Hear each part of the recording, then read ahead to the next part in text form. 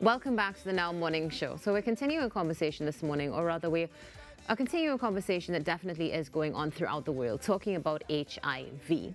And it's 40 years of HIV right here in TNT, National AIDS Coordinating Committee, is also going to be documenting their achievements. Now, in studio with us this morning to share more about this history and where we stand as a nation is Dr. Gregory Boyce, the Deputy Director of the Medical Research Foundation of Trinidad and Tobago, and Cyrus Sylvester, Peer Navigator of the HIV AIDS Coordinating Unit at the Ministry of Health. Good morning, gentlemen, and welcome. Good morning, and thank you for having us. It's a pleasure to have both of you with us on the show this morning. I mean, this conversation is not something that has gone away. Now, admittedly, I dare say, taking a look at history, we saw HIV definitely at the forefront, let's say in the 80s, 90s. Yes. And then as time went on, it seemed as though it became the norm. We became more familiar.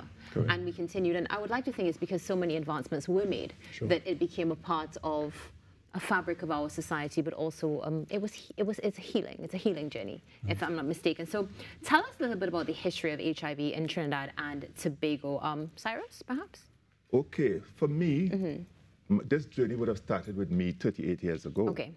Now, I've been living with HIV for the past 38 years, mm-hmm. so I am. I believe that I am in a position to speak freely about HIV. You know, the 40 years of HIV in Trinidad and Tobago, because I have been living this journey. Mm-hmm. I've been living this journey. I have, you know, from the inception, I have seen the challenges that have brought us to where we are today. Right. The challenges and the achievements.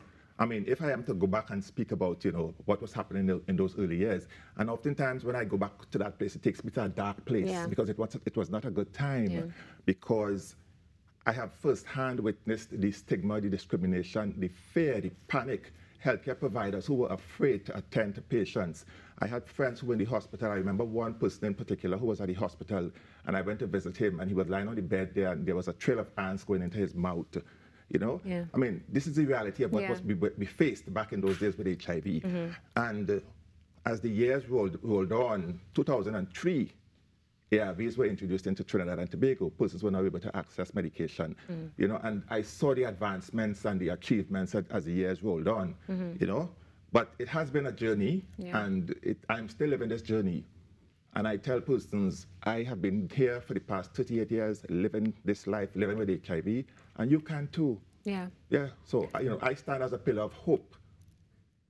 Thank you so much for sharing that. That is so beautiful because, as we mentioned, you know, it's something in the 90s. As you said, there was a lot of stigma attached to it. Mm -hmm. And now to see the advancements that we'd love to discuss with you further, Doctor, mm -hmm. um, we've been able to live with and remove that phobia so hats off to you and thank you for sharing that with us. The phobia is still with us. It's still with us. Yeah. We need to get to that conversation, but let's mm -hmm. come to you, Doctor. Let's talk sure. about some of the achievements that we've seen medically wise in Trinidad and Tobago. Right, and again, thank you for having us here this morning. So the, the first case of, of HIV would have been uh, diagnosed sorry, by Professor Courtney Bartholomew, who mm -hmm. is mm-hmm. The founding director of the Medical Research Foundation. Yeah. Um, and that was in 1983, September, two cases he published in the medical literature. And of course, at that time in this country, there was no treatment available, mm -hmm. right? So in, in, in, a very real sense, an HIV diagnosis was, you know, essentially a, a, a sentence of death, right? Mm-hmm. Now, as time went on and medication became available, we would have piloted at the Medical Research Foundation the first treatment program in the country, along with, I think, um, in Tobago, as well, uh, Tobago um, Health Promotion Clinic at San Fernando in 2002. And that made such a transformational difference. So I've been at MRF next year will be 20 years. Oh, right? congratulations. Wonderful. And so I would have started my training pre-availability of, of HIV medication in the country. So working in the hospitals and seeing persons coming in ill, you know, you do a clinical examination and you know yeah. that I know you have to give this person some devastating news and there's nothing you can do as a physician at that time to help. And then post 2002, treatment becomes available and you see people advancing, getting well. The medication at that time were, were rough, right? With a lot of pills, lots of side effects. as time went on, the medication became better and better, more potent, fewer pills, fewer side effects.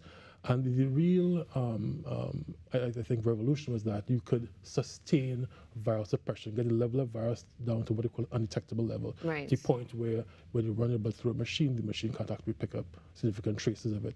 And early on, there was not you know that much surety as to how long that would last. And as Cyrus is demonstrating in person, yeah. that once you are taking medication and you're adherent, you can suppress virus um, indefinitely, remain well, live a, a, healthy, happy life with HIV. So we're now getting to a point where, and all these conversations about we're hitting on 1990 targets, As a country, we are not uh, approaching the 95, 95, 95 top targets to get to elimination of HIV as a public health threat in 2030.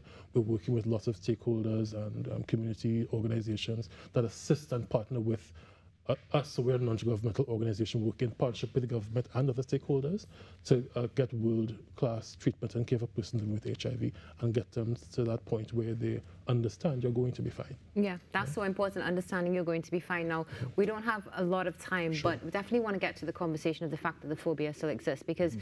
this is something that by now, especially with what you've just shared and what you've lived through, we yes. would expect has been allayed in some form or fashion. So let's talk a little bit briefly about this phobia still existing and what we can do to stop it. it. It is unfortunate that stigma and discrimination, you know, still exists, but you know, it will always be with us. Right. But you know, the media has a major role to play. All stakeholders, with respect to you know, dispelling stigma and discrimination, breaking down stigma and discrimination. And as a result of the stigma and discrimination, you know, persons face, persons are fearful to come out. There right. are so many persons who are living with HIV in Trinidad and Tobago. The last estimate put us as, at between 11 to 15,000 persons living with HIV. Mm -hmm. And how many persons are publicly standing up and say that I'm HIV positive? Yeah. Persons are afraid to come forward, and it is because of that same stigma and discrimination. Um, even in the workplace, and we have to say thank God for the um, the HIV workplace policy that is advocating that persons who are HIV positive cannot be dismissed from their jobs for being HIV positive, mm -hmm. and that HIV should not be mandatory, you know, for employment. Yeah. Stakeholders, the conversation has to continue. Mm -hmm. um, again, it is unfortunate because in the very early years of HIV, there was a lot of conversation surrounding HIV, and you would have said this in your introduction. Mm -hmm. There was a lot of conversation surrounding HIV, a lot of awareness, mm -hmm. and that has gone lull. Yes. You know, it's almost the conversation is not happening anymore. But we mm-hmm. need to bring back the conversation because HIV will continue to be with us. Right. That's yeah. something that's so important, bringing back the conversation yes. as well, because it does sort of go to the back of your minds. But in many ways, you say, like some people say, no, well, they're not that serious. Mm-hmm. And I think sometimes sometimes that's, in, in many ways, I mean, yes, don't get me wrong, it is, of course, serious, your immune system, your health. Mm-hmm. But in many ways, at least for me, where I sit, and this is where I learned something new today, I thought, well, we're all, we're good now. Yes. You know, and we, we're not sitting in this phobia state of mind, essentially, because mm-hmm. at the end of the day, it doesn't change how you operate. So much so that there are some persons who are saying HIV, oh, if I get HIV, there's medication. Yeah.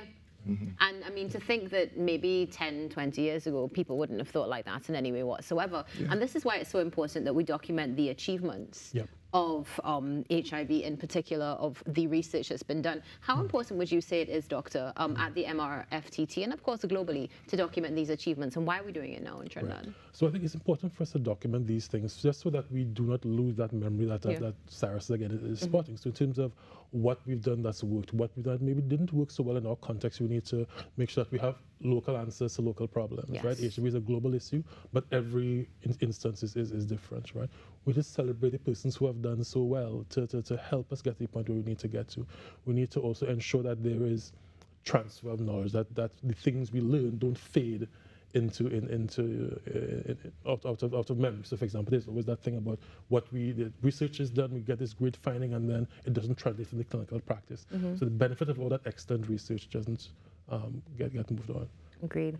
Now, um, gentlemen, before we, um, well, we'll close this conversation for now, but I think it would be lovely to have both of you back to continue this Definitely. conversation and start to raise that awareness. Let's talk about the importance of community in particular when it comes to the HIV awareness and response in general. Cyrus, we can start with you. All right, we have to appreciate that there are lots of persons who belong to key populations, mm -hmm. um, such as sex workers, men who have sex with men, migrants, um, young boys and girls, uh, even persons living with HIV.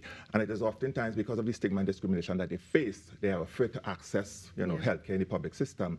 And for this reason, this is, this is why it is important that community groups uh, be on board to bridge that gap in providing services targeted specifically for these communities. Yeah, yeah. definitely. And doctor? Yeah, so Absolutely. I mean, he, he said, I would actually say it's foundational, the involvement of community groups into um, treatment and care, because for, for, for some persons with HIV who are suffering from stigma, the community groups are the community are the last people, the last family they have. Yeah. And they're the persons who will navigate them to care, make sure that there's someone checking in on them, give them that care and support. Because the medication can only go so far. The person must feel as though I am surviving, not just surviving, I'm winning. Yeah. I'm, I'm, I'm, prospering, I'm thriving. And the role of the community groups is absolutely critical to that. It is. It is so important. Community is important. Gentlemen, I really hope we can have you both back on the show soon because yes. we need to continue this conversation. Um, Trinidad and Tobago and the world who are watching right now, we're talking about, of course, 40 years of HIV and what is taking place, not just here, but throughout the world, and how we can do our part to continue to raise awareness and remove any stigma. Dr. Gregory Boyce, Deputy Director, joined us this morning along with Cyrus Sylvester, Peer Navigator. Remember, of course, there are helplines that you can call. I'm going to share some of them with you now. 800 for HIV, that's your HIV helpline helpline, National Domestic Violence Hotline 800 SAVE, Children's Authority Hotline 996 or 800 2014, and Childline 131 or 800 4321. This is the Now Morning Show. Your birthdays are coming up in a few moments, so stay tuned. We'll be back in a few.